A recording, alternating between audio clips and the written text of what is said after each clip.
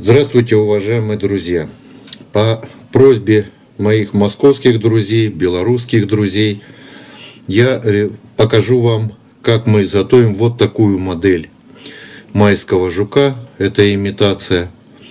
Практически она ничем по уловистости не отличается от того майского жука, которого я изготавливал с помощью оленьего меха мы изготовим его в более бюджетном варианте. Поэтому я в процессе изготовления вам все буду уже рассказывать. Как он выглядит, вы уже сами видите. Давайте приступим. Крючок мы берем э, пайковый, это для щуки. Я взял где-то так, чтобы вас не обмануть, ну, наверное, второй номер точно. И подготовили с вами определенные материалы. Что нам понадобится? Нам понадобится с вами перо, ну желательно, чтобы было хотя бы одно или двух оттенков, можно и одно, но гризли, для того, чтобы было чередование вот такое цветов. Можно однотонно, это будет несколько хуже. Значит, жука майского можно вязать и на двойниках. Но, как вы видите, вот меня не получается даже из семейства лососевых подобрать так крючок, чтобы был наш жук пропорционален. Учитывая то, что мы изготавливаем приманку непосредственно для головля, так как вы просили, нам необходимо, чтобы вот место, которое мы занимаем для зацепа, было достаточно приемлемое, поэтому желательно брать на хороший порядок больше номер крючка, так как мы материалами это полезное место заберем. Но и опять же, длина должна составлять где-то 2 сантиметра, потому что жуки бывают разные, ну, в общей сложности приблизительно где-то в районе 2 сантиметров. Теперь, что касается других материалов я сложно подобрать, но если вы обратили внимание, то вот эта пенка используется у, при комплектации э, дисков наших DVD, CD, какие есть. И установлены вот такие вот предохранительные пробочки как бы. Но я имею вот такие бруски, это из спасательного жилета, которое меня иногда выручает по определенной толщине. Нам необходимо изготовить вот такую заготовочку, приблизительно. Мы ее потом в процессе приведем в самый-самый надлежащий порядок. И как видите, я вот здесь скальпелем сделал выборочку, для того, чтобы как можно вот так потом глубже посадить нашу пенку на те материалы, которые мы будем устанавливать. Ну и соответствующий вырез в процессе изготовления я вам все объясню. Также нам понадобится э, антрон или суперфайн, который есть дабинг, это для сухих вот мушек, двух оттенков для грудки и для тела. Также понадобится еще нам дополнительно из вот таких вот наборов блестящий дабинг, чтобы привлечь еще дополнительно нашу рыбу. И я подготовил еще пучочек люрикса жесткого, который я изготавливаю сам и, вернее, кручу его сам. Но он должен быть достаточно жестким. То есть вот все наши вот такие всевозможные кристалл флеши, которые продаются, это достаточно, вот они мягенькие, они не совсем годятся. Нам необходимо, чтобы был своего рода как продолжение хвостика. Как всегда, клей я использую вот такой, елевый, потому что более удобнее с ним работать. Нитка у меня порядка 6,0. Я работаю так, как э, материалы нам мы будем крепить пенку, можем перерезать более тонкой нитью. Обязательно по всей длине цевья наносим наш гелевый клей. До колечка чуть-чуть не доходим. Почти до самого загиба. Потом мы уже будем сами добавлять. И, как всегда, аккуратненько промотаем наше тело. Стараемся поближе виточки, но если они будут расходиться, это не столь принципиально. Нить мы берем белую, так как материалы будем крепить разных оттенков и желательно, чтобы у нас не было засветки нашей нити, которой мы работаем. Еще раз вот такими вот шагами я возвращаюсь, чтобы дополнительно прохватить наш и создадим вот такую небольшую как бы неровность для того, чтобы наш материал уже не прокручивался. Теперь с вами доходим буквально до начала загиба. Берем люрикс, о котором я вам говорил. Вот он у меня несколько разных вот таких вот оттенков. Это будет своего рода продолжение нашего хвостика. Если он будет несколько длиннее, мы потом с вами всегда сможем отрезать. Но обычно я выбираю длину загиба, вернее поддева, и вот к точке крепления я ставлю и подхватываю. Вот такими большими витками по всей-всей-всей длине нашего цевья. Все. Теперь мы должны с вами аккуратно вот этот материал уже закрепить. Так как у нас клей здесь остался, этого вполне достаточно для того, чтобы хорошо держался наш материал. И немножечко, как вы видите, мы заходим за загиб, для того, чтобы наш хвостик наклонился вперед. Теперь, как вы поняли, вот этот вырез мы теперь должны одеть, но для начала я расскажу несколько вариантов. Первый вариант – это мы крепим вот нашу белую вот такую пенку, которая у нас имеется, а потом берем наш вот такой перманентный маркер и прокрашиваем. Но так как меня просили изготовить более реалистичный этот, этого жука, я беру пластикрафию. Существуют всевозможные вот такие вот разные наборы, которые продаются или, или, может, уже не продаются, но продавались в интернете. Я подбираю приблизительно, ну, такого вот где-то ближе к рыжему цвету. Мы все равно с вами потом подкрасим и продадим тот оттенок, который нам необходим. Я использую всю ширину этой пластикрафии. Буквально слегка увлажнив пальцы, мы вот этот край делаем слегка вот комкаем для того, чтобы можно было вот так прямо на палец, как вы видите, слегка приодеть, чтобы потом в дальнейшем эта наша пленочка аккуратно подхватила нашу пенку. Не отпускаем. Держим в том месте, где скомкали, и стараемся вот притяжной петлей подхватить наш материал подхватили. Еще раз перепроверимся, чтобы остался у нас вот такой своего рода вмятинка красивая. И теперь нам наша пенка уже, вернее пленка не нужна.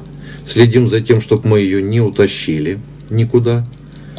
Подхватываем нашей нитью. И теперь вот уже вот это место, это вот у нас будет самое крайняя точка, где мы с вами должны ниткой подхватить нашу пенку. Чтобы было несколько удобнее и более крепче не прокручивался материал, я опять промазываю нашим клеем.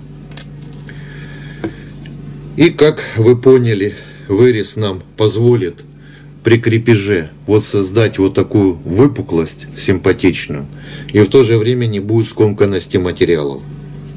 Одеваем аккуратно следим за тем, чтобы наш вырез соответствовал действительности и стараемся так, чтобы материал был рассредоточен равномерно по нашему цевью.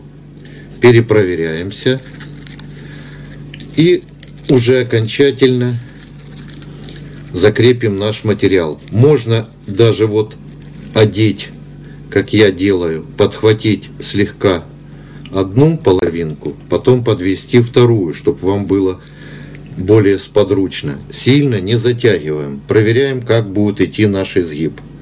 Меня он вполне устраивает. Еще раз промазываем клеем и аккуратно теперь закрепим эти материалы.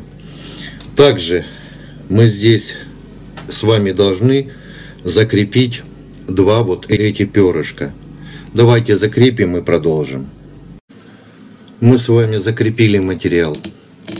Теперь, как обычно, или клей, или вот я использую ваксу.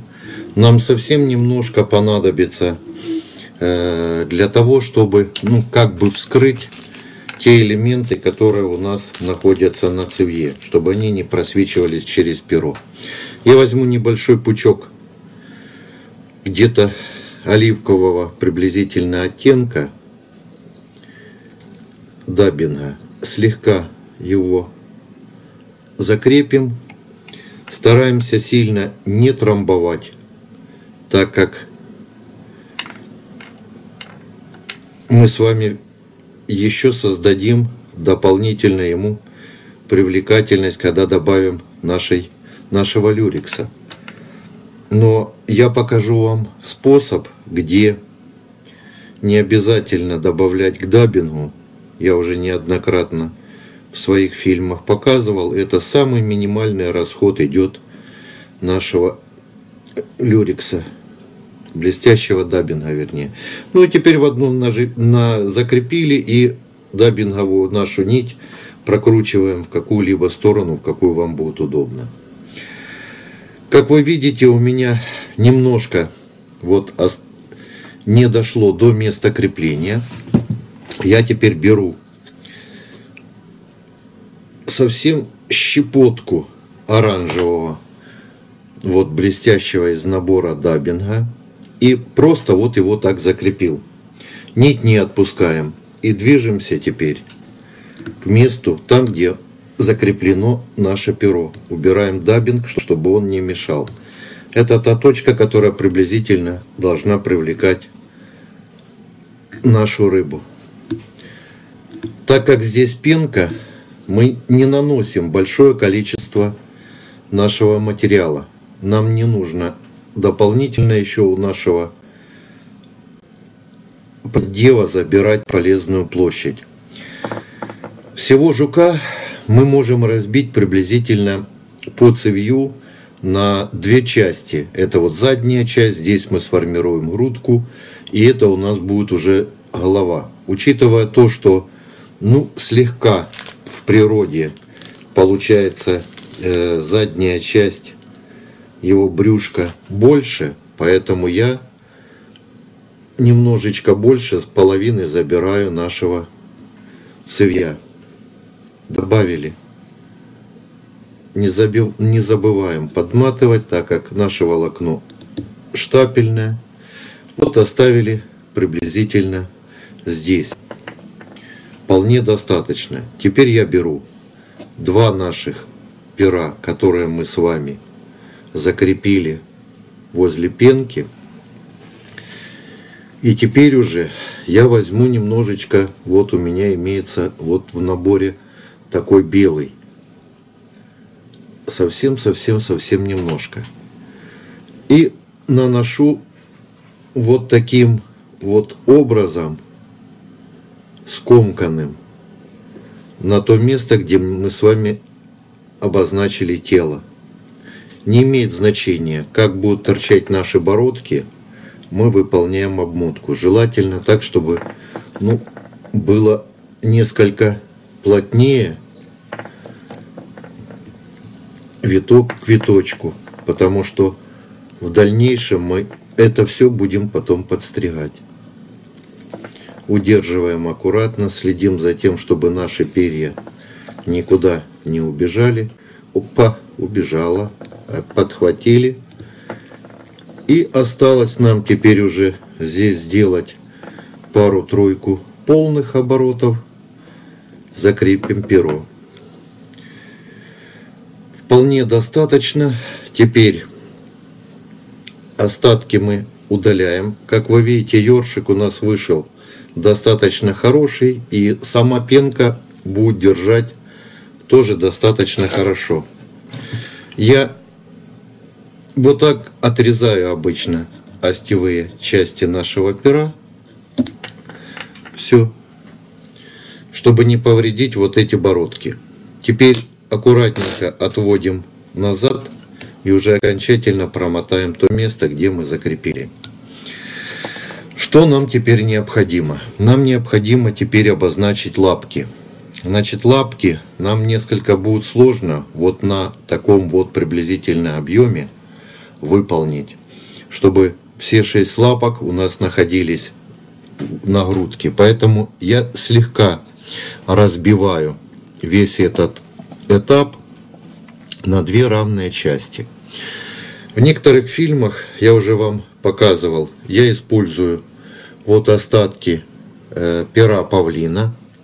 Это достаточно хорошо себя тоже зарекомендовал, но э, материал не служит долго.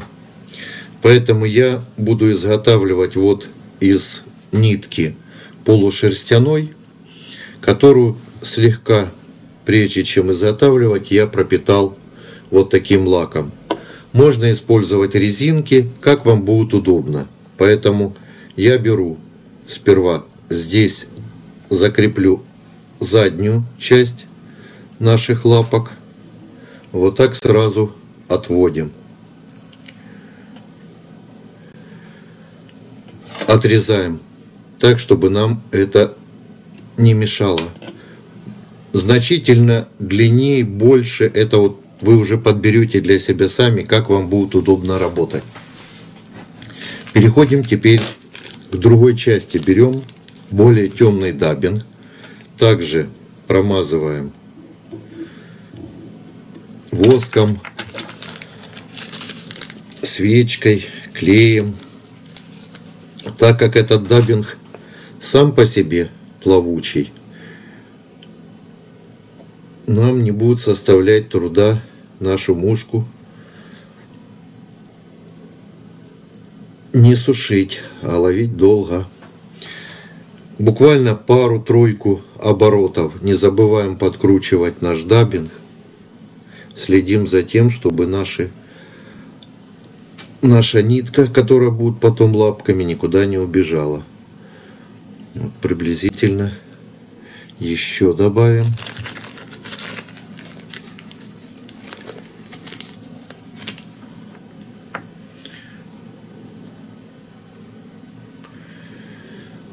Здесь сама по себе грудь должна по нашей толщине быть меньше толщины нашего тела. Вот приблизительно столько нам будет достаточно. Перепроверяемся, как годится.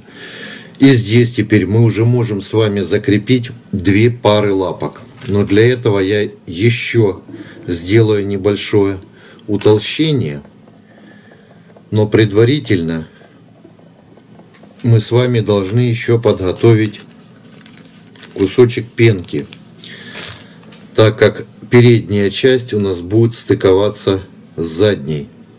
Также подматываем наш даббинг до первого касания, как обычно, и теперь уже прокручиваем. Годится достаточно. Вот теперь вполне достаточно. Берем опять наши лапки.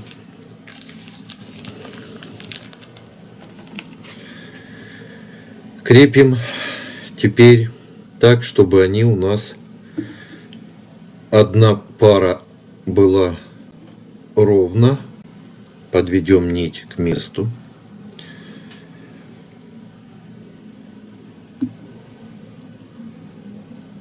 Вот так.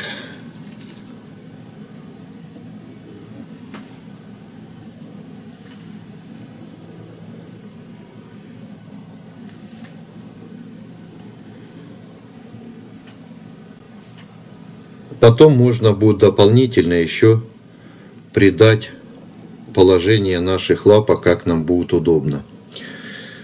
Вот они почти у меня ровно. Отрезаем лишнее. И также закрепим следующую пару лапок. Вот мы с вами закрепили вот так э, лапки. Я подкрасил нить, чтобы не менять, э, коричневым маркером и перевел приблизительно середину вот нашей грудки. Теперь нам необходимо переломить нашу пенку, посмотреть, как она у нас будет лежать на цевье и обозначить место, где мы должны с вами произвести крепление. Вот приблизительно вот так. Как вы видите, вот этой, допустим, величины будет вполне достаточно для самой спинки и задней части нашего майского жука. Убираем нашу нить. Вот у нас она обозначилась. Расскажу вам сразу, что нам необходимо сделать. Нам необходимо, помимо этого, придать форму, слегка на косую вырезать, и в месте крепления выполнить небольшой уступ для того, чтобы передняя часть могла стыковаться у нас с задней. Давайте мы это изготовим, и я потом вам в процессе покажу, вы поймете.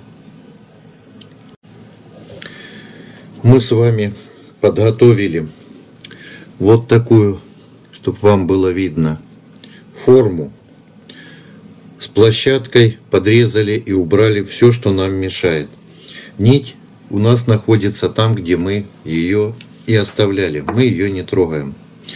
Теперь мы с вами берем наш клей. И вот этот желобок, который мы специально с вами изготовили, мы должны хорошо промазать. Вот смотрите, видите, капелькой раз, и потом мы с вами все это аккуратненько размазываем, чтобы клей проник. Перо, дабинг, верхняя часть, понятное дело, но без фанатизма.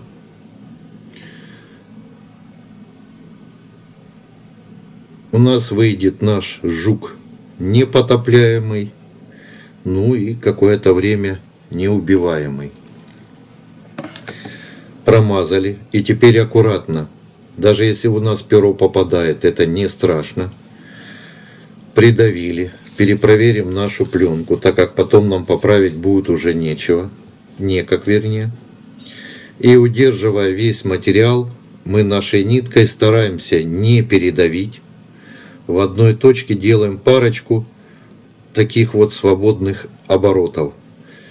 И крест-накрест, там, где мы с вами крепили наши лапки, еще подхватим нашу пенку спереди.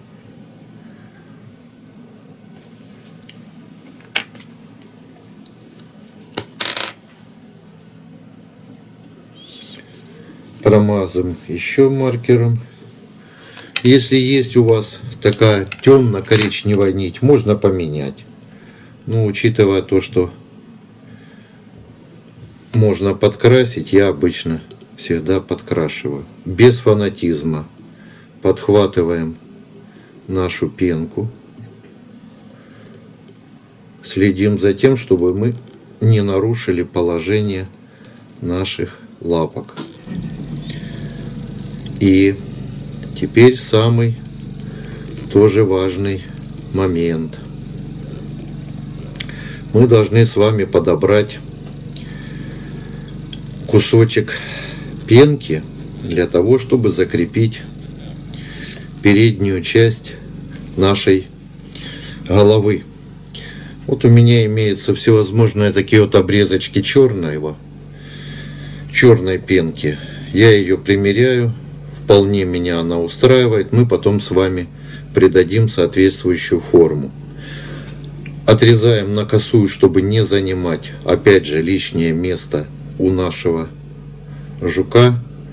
И стараемся теперь уже аккуратно, слегка работаем левой рукой, а потом перехватим. Так, чтобы четко-четко у нас над колечком. Значит, самое важное, я еще забыл вам сказать. Значит, не берите крючок, который у нас будет с колечком вниз. Это будет дополнительное неудобство. Перепроверим. Годится? Отлично. Все у нас хорошо, никто у нас никуда не убежал. Теперь мы нанесем немножко клей и нужно подождать, пока и этот клей, и этот клей у нас схватится.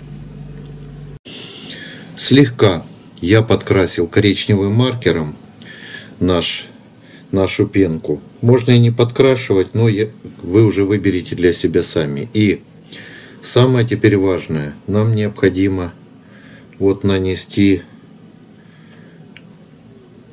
хотя бы небольшими вот такими точечками клей много не надо, потому что наша пленка потом испортится.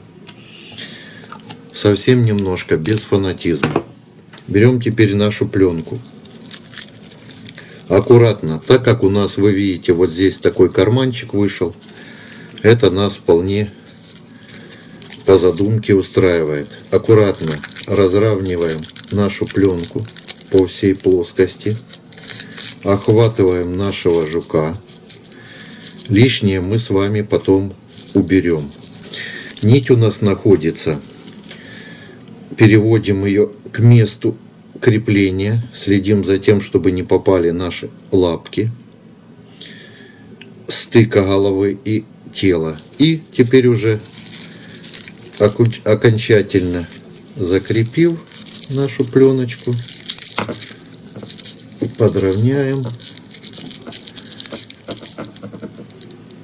подхватываем, следим за тем, чтобы было как раз на нашем месте, где мы с вами запланировали.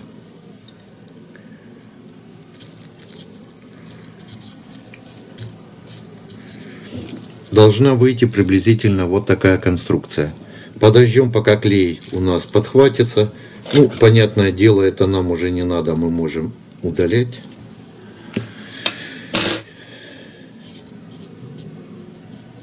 И понадобится нам теперь с вами совсем-совсем немножко дабинга, чтобы скрыть наше место это крепление, чтобы пленка не мешала. И следим за тем, чтобы нить была соответствующего цвета. Совсем-совсем немножко. Рассредотачиваем и подравниваем наши лапки. Вот. Так как мы закроем пленкой, поэтому это не страшно, мы теперь должны с вами аккуратно нить перевести колечку.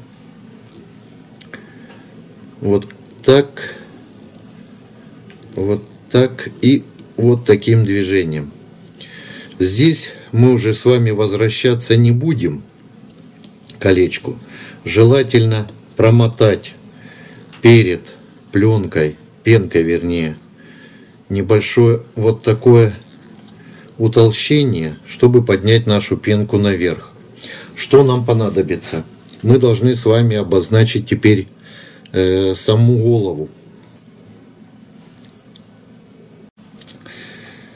Э, чем отличается самка от самца, я уже не буду вам рассказывать, потому что все вот эти усы и все остальное можно ставить, можно не ставить.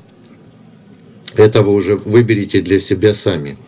Теперь нам необходимо, прежде чем переломить и сформировать место нашей головы, слегка добавить еще дабинга.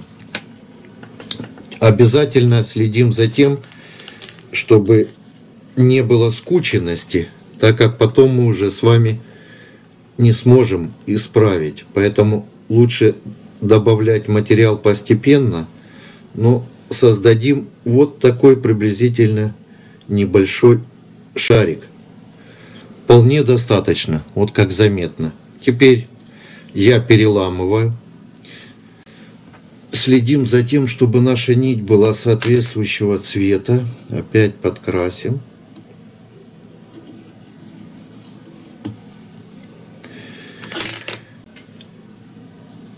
И делаю вот такое движение, подхватывающее. Раз, следим за тем, чтобы никуда у нас пенка не утаскивалась. Обязательно. Вот один раз легонько, и теперь уже начинаем как бы продавливать нашу пенку. Приблизительно вот так мы должны обозначить голову. Аккуратно. Стараемся не нарушить положение лапок, переводим нашу нить под пенкой и лапками. Вот лапки уводим в сторону. И вот так аккуратно переводим нить к месту крепления нашей грудки и спинки. И теперь остается, смотрите, только лишь вот взять, продавить место крепления, где у нас будет стыковаться задняя часть и передняя, лишнее обрезать и закрепить. Давайте это сделаем. Вот у нас вышла такая конструкция. Теперь что нам нужно? Дальнейшее это уже только лишь ваша будет фантазия, ну и понятное дело, от того будет зависеть, как вы захотите себе сделать. Так как у нас нитка пропитана лаком, я беру пинцет, который не имеет губок, зазубрин на губках и начинаю вот таким вот образом подгибать, придавая положение лапкам. Как я уже нимфы изготавливал, вы уже видели. Одну, вторую, третью, ну и так по порядочку все.